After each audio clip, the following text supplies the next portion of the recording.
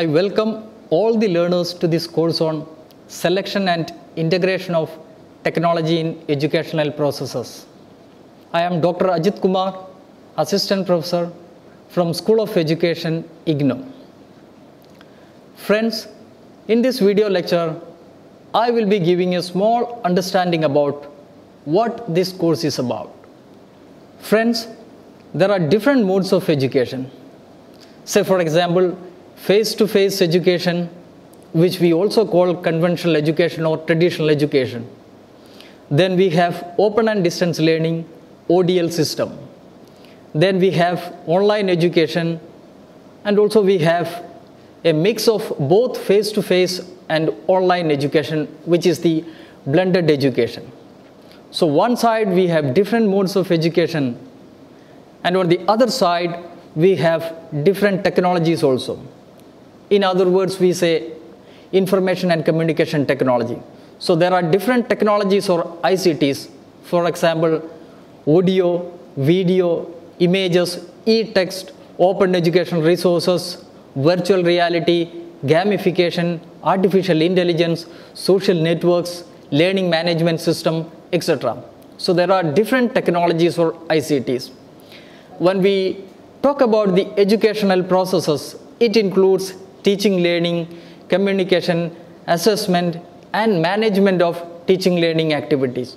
So friends, we have different modes of education, different technologies, and different educational processes. Many a times the teachers, when they are engaged in the teaching learning process, finds difficult to choose a suitable technology in the teaching learning process.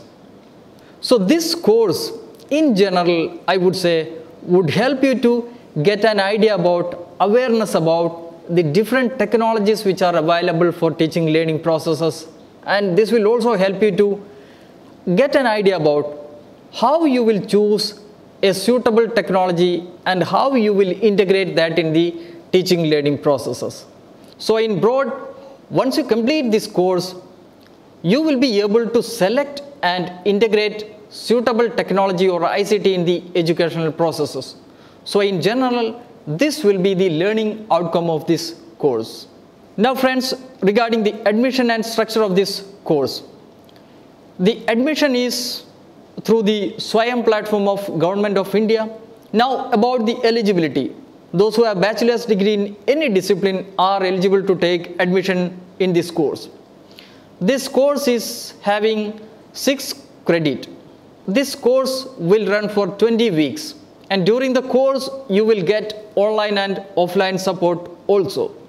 Now what the learners are expected to do? In every week you will find one module. Basically this module will be an e-text. So you are expected to read that e-text. You will also find open educational resources, video lecture and web links. You will also find discussion forum questions you will also see assignments or activities. You will also find quizzes in some weeks. Now friends, I'll be talking about the evaluation, how you will be evaluated after completing this course. There are two types of evaluation, one the continuous evaluation or the continuous assessment which will carry 30 percentage weightage, while the term and examination carries 70% weightage. So once you successfully complete this program, you will be awarded the certificate by Indira Gandhi National Open University.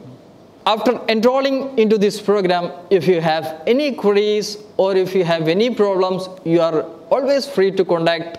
The contact details are given. I hope after completing this program, you will be in a position to use different technologies in the teaching learning processes. Thank you.